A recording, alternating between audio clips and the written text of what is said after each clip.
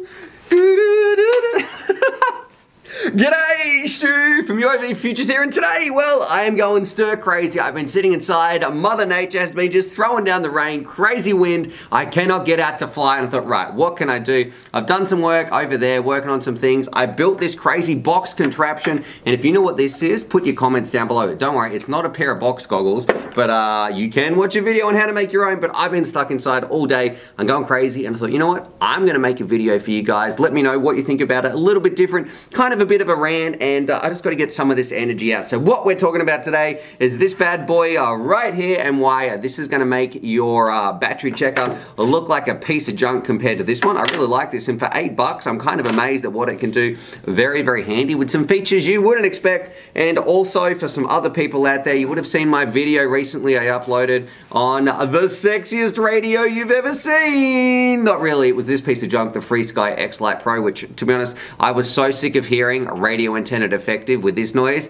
I was ready just to throw this thing out the, out the window. So I wasn't having very much fun with that. And so many people said, Stuart, have you tried these settings? Update this, change this external thing. Stuart, you don't know what you're talking about, do this. Don't worry, I've done all that stuff. It still ain't working. And another thing I want to mention as well, the 18650 caps that came with it. This is like uh, our favorite topic on the in the hobby right now. Let's just rag on FrSky because that's what everybody seems to do. But check this out.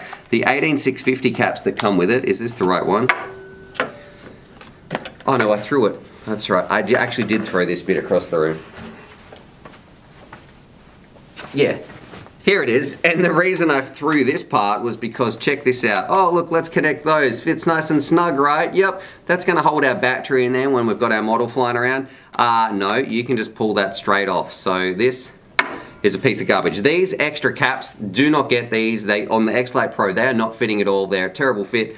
So yeah, I think they're a piece of junk. Um, but I did get a useful email from a user called Duck, so shout out to him because he sent me a link and I followed it and I got to tell you it has now become the sexiest radio. You are the sexiest X-Lite in existence because no longer do I have to, have to listen to that warning of a radio antenna defective. Let me show you why. Because I was able to fix that with his help. There was some special instructions. Oh when I turn this bad boy on. Oh and I've also got kind of some low batteries in there at the moment as well.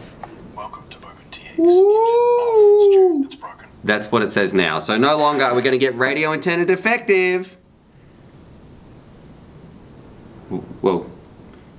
Have I fixed it? Oh, okay. It was just trolling me. But yeah, we get a big burly New Zealander dude telling us, Stu, it's broken, as well as some other flight modes and stuff active. Ooh, high speed mode. But if you'd like the link, there's like a Taranis sound pack. You just put it on your SD card, super easy. If you want to listen to a burly, deep voice New Zealander dude instead of whoever's on your radio, well, you can have some fun.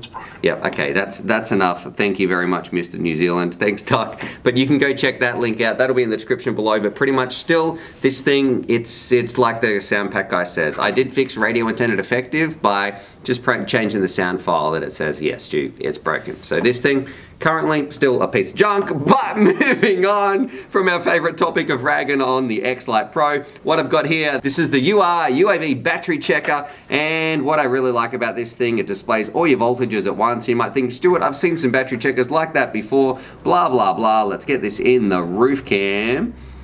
Do -do -do, right there, so you can see, nice little graph. Look, there's all their voltages, blah, blah, blah. I do like it how it displays them all at once, so you don't have to cycle through like on some of these.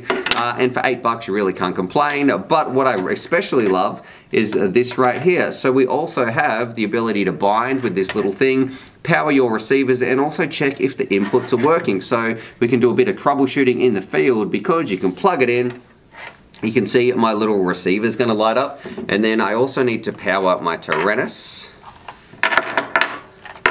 No. Uh.